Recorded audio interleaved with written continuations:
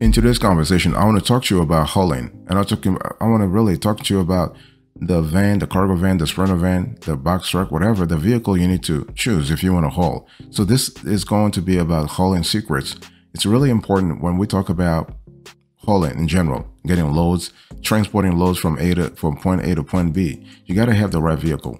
So here's an overview that I really want you to pay attention to. So let's first talk about hauling with sprinter vans. So the thing is, when we talk about sprinter vans, a lot of uh, folks have no idea what a sprinter van is. They think they might think they, they do know, but they really don't know. So let me let me go back to the origins, so to speak. So a sprinter van is a light commercial vehicle that actually uh, became popular in the 90s.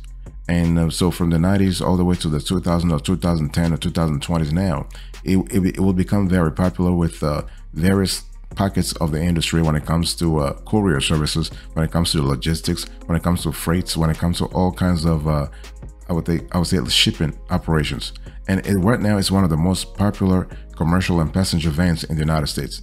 And so, what we love about the Sprinter van is that the Sprinter van does have a exceptional experience with a with a wide variety of safety features and a number of uses. They're really good for for you if you are going to be like a, a Sprinter. If you are going to uh, be in a Sprinter van business, you you will need you need to know those features and capabilities. By the way, boss, Welcome back to the show. It's really a pleasure to have you here to have this quick convo with you about the uh, hauling secrets that I'm revealing to this conversation, hauling secrets you need to think about before having, for example, a Sprinter van. So when we talk about Sprinter vans, you know, if you are going to be in the Sprinter van business, you have different kinds of sprinter vans. You have party sprinter vans. you have cargo sprinter vans. you have panel sprint events. So you got to ask yourself what, what, what specific type of sprinter van you want to adopt for your specific uh, niche. Let's say you want to open a you want to open a sprinter van business. My question to you is, what kind of sprint do you need? Okay, what kind of niche are you at? It's really important because uh, your sprinter van will play an important role, if not a quintessential role, when it comes to making sure that you are actually uh, making money. You you are generating we are generating revenue from day one. And I'm not even talking about the, the model of the, uh, the model and year of the van. I'm talking about basically having the type of sprinter van that you need, whether it is cargo sprinter van, whether it is panel sprinter van, whether it, whether it is party sprinter van, to know exactly how you're going to use the van. This really this will play an important role in your revenue generation efforts in the long run.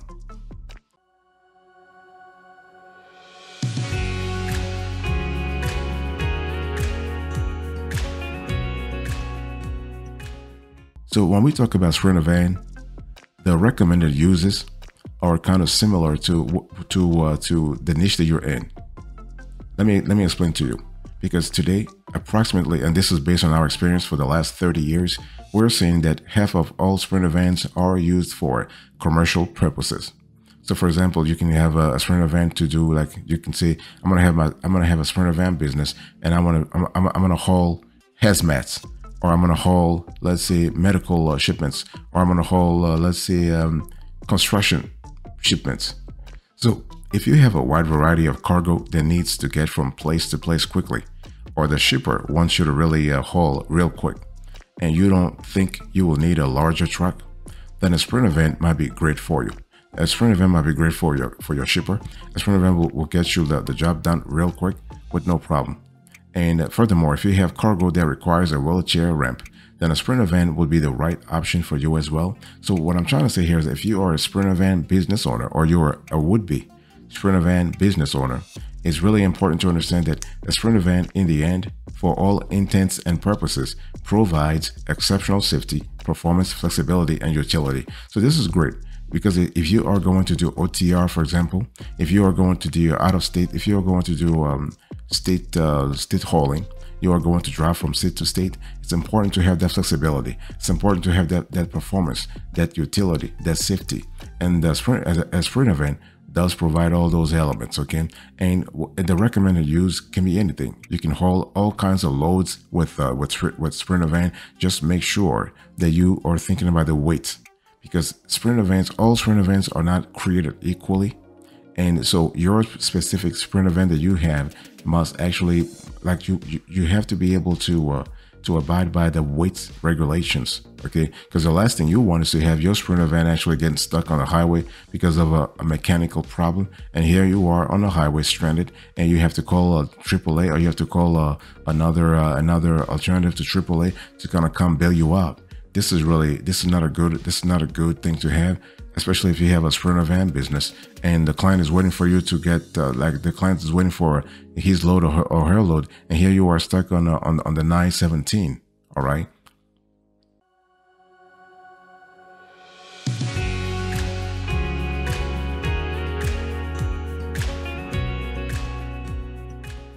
So we just spoke about hauling with sprinter vans. Now let's talk about hauling with cargo vans. So the thing is, well, everybody talks about yeah, cargo van. I'm you know I'm gonna start. A, I'm gonna start a cargo van business. Blah blah blah blah blah blah. But the question is, do you understand what a cargo van really is? Let's really go back to the origins, so to speak. If you have a lot of cargo that you that you need moving, and you need to actually move that cargo through a significant distance, then a cargo van might be good for you. And when I'm talking about significant distance, I'm talking about, you know, this could be like really, really far. For like, for example, you can be in New York and say, you know what, I'm actually going to haul all the way to, uh, hmm, to DC, for example, or, or at two, two to three hours, or I'm going to haul all the way to Illinois, to Chicago, for example. I'm going to drive all the way. Yes, if you if you have the right cargo van, you can actually cover a specific distance, not a problem. In general, okay, in general, if you are, let's say, um, if you're trying to like depending on the shipment that you have you have to ask yourself whether or not you have the proper equipment in the in the van also because sometimes it's not just the, it's not just the van only it's about the accessories you have in the van. So think about it. So if you are moving a significant let's say you are moving a lot of cargo like through a significant distance then a cargo van might be great for you. In general this might be too large if you are simply moving let's say a few boxes from place to place.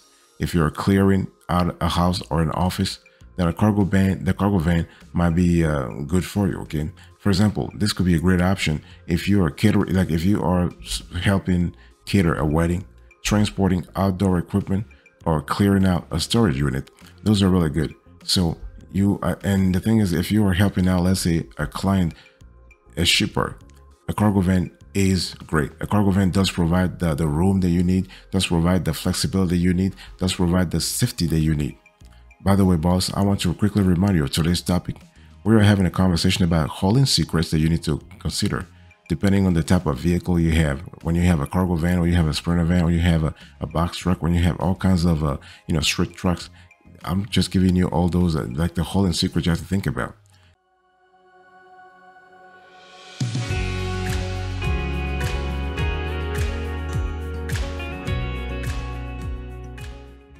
So what are the recommended uses of a cargo vans? So the thing is when you have a cargo vans and you want to haul, you first have to ask yourself, do I have the proper weight for like, is my load the appropriate weight for my cargo van? Because uh, these types of uh, expedite vans are typically able to handle approximately 3,400 pound of cargo. So when you think about cargo vans, think about 3,400 maximum, 3,400 pound maximum of cargo. In general, this can fit approximately 40 medium boxes. So your cargo van can actually fit about 35 to 40. Based on our research, based on our research, we, we see 40 is the sweet spot. Okay, you might be able to transport a few pieces of medium furniture as well. And you should be able to fit a twin or full mattresses in a cargo van. And also this could be a great option if you have desks, couches, and water coolers to move. Okay, so you can see that you have a, a large area of stuff you can move or you, you can actually uh, haul with a cargo van. And again, when we talk about you actually putting stuff in your cargo van, don't forget about don't forget about the distance though. Okay, because it's not just about what you put; it's about how long you're going to drive with the dead weight in your cargo van, right? It, it, it does it does play an important role not only in terms of you getting the job done on that particular day you're hauling, but also over time when we talk about wear and tear to your cargo van. Because if you are constantly putting like a very heavy loads in your cargo van, your uh, you know your cargo van expected expected lifetime or useful life will be shortened, right? So if you have like 20 years, if you, if you, you can use the, the van for 20 years in your business, you are probably are shortening the lifetime, that lifetime to 13 years or 14 years. So that has that that sort of a shorter expectancy life, like useful life, does have uh, consequences in terms of revenue for your cargo van business. So this is really important. And also when we talk about the distance you can cover, it also depends on uh, whether you want to do OTR or you or whether you just want to drop stuff like uh, downtown. You want to you want to do suburbia or you want to do the metropolitan area. It really depends on what kind of uh, niche you're in. Depends on what kind of uh, loads you are hauling also. So those are again those may not seem important for you when you have one load when you have one shipment, but if you have ten shipments or 50 shipments, then those elements become important.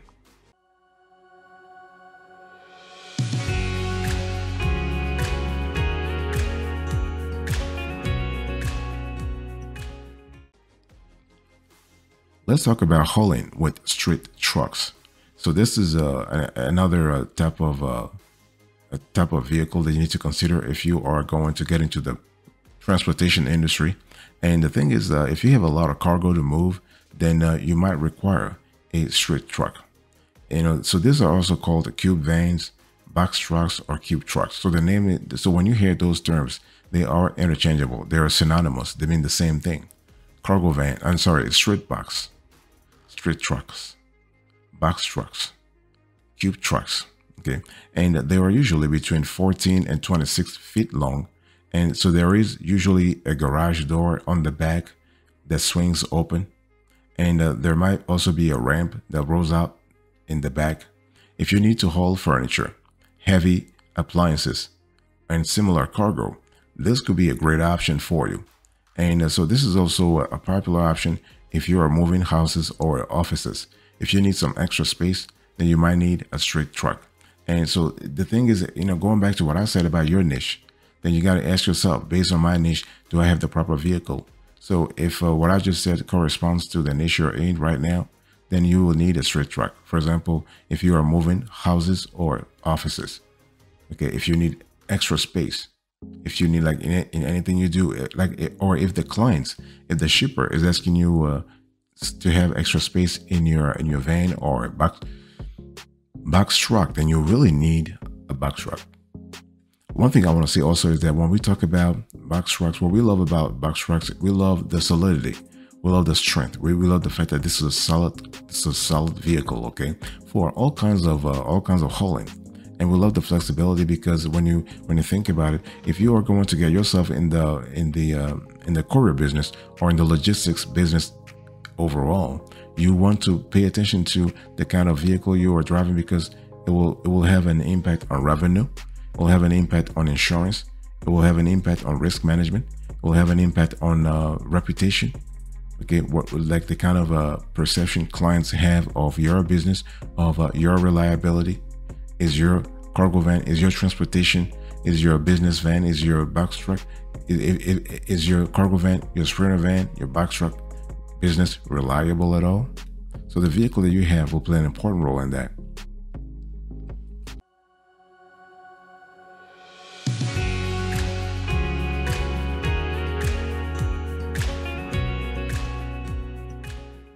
And so when we talk about street trucks, you really have to be very careful about the recommended use. Don't use street trucks for anything.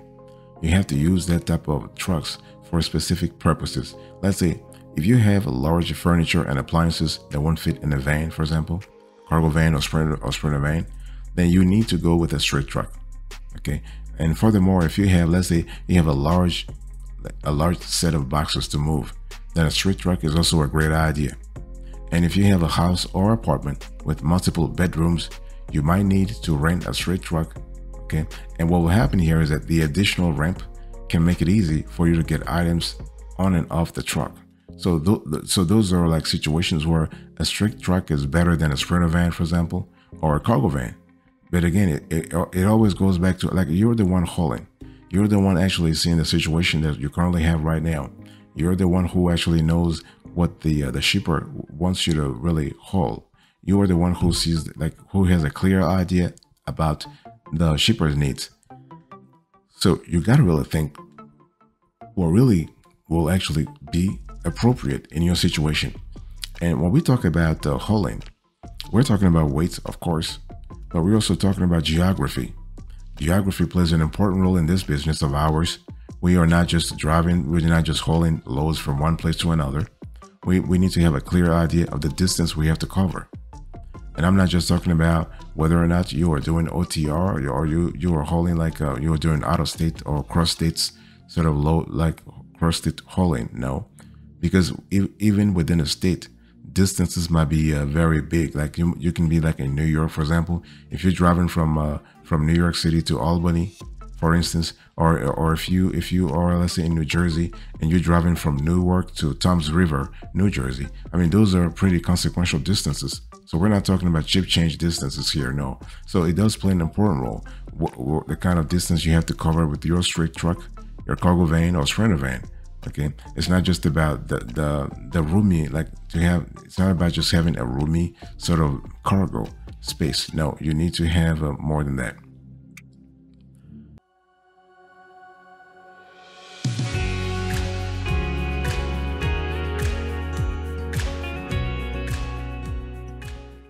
Let me give you a few pro tips before we close to this conversation. So, in today's conversation, I'll just share with you a few hacks that you you need to have when when it comes to uh, hauling, cargo hauling with cargo vans, sprinter van, and uh, street trucks. The thing is, you have to know the businesses that use cargo vans, sprinter vans, or street trucks, because businesses of all sizes use those vans to accomplish various transportation needs. Which means which means what they will call upon you They'll call upon you, a cargo van business owner. They'll call upon you, a, a straight truck business owner. They'll call upon you, your sprinter van business owner, to haul stuff for them. Okay, and uh, so here are some of the businesses that use uh, cargo vans, sprinter vans, and uh, street trucks. You have a last mile delivery services. You have uh, caterers. You have florists. You have landscapers. You have plumbers.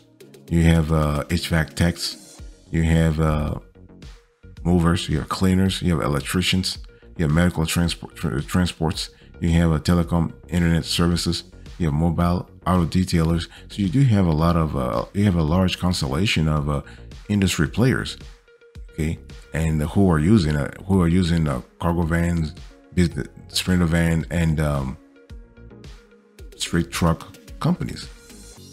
The thing is, when we talk about using a cargo van for your for your for your shipping for your let's say your client shipment, you got to think about the fact that you are able to increase total deliveries because if you are if you're able to increase the number of loads you haul, or the number of hauls you actually uh, to actually uh, process, that's a revenue increase, boss. If you are a cargo van business, a sprinter van business, or a straight truck business, having the ability to increase total deliveries means having access to more revenue. Okay, so you are able to uh, deliver more packages you are able to deliver heavier packages and payloads. You are able to deliver longer packages. You also have ample space. Think about that.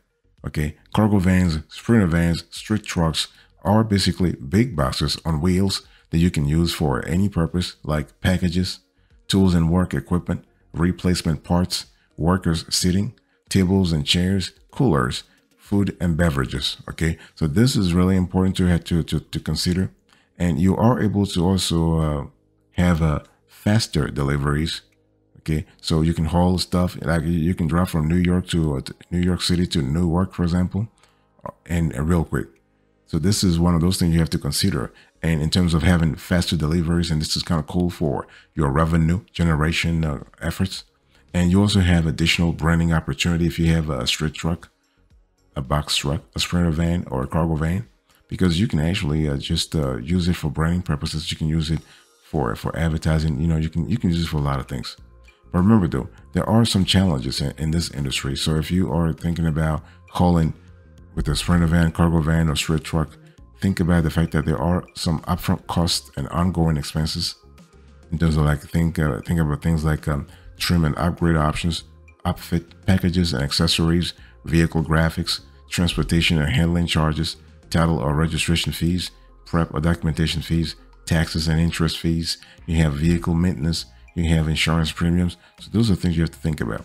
You also have rising fuel costs. Right now, it's a big problem in the industry. And you also have to think about driver safety. So if you are an owner operator or you manage, let's say, a large fleet of uh, sprinter vans or cargo vans or straight trucks, you got to pay attention to driver safety also.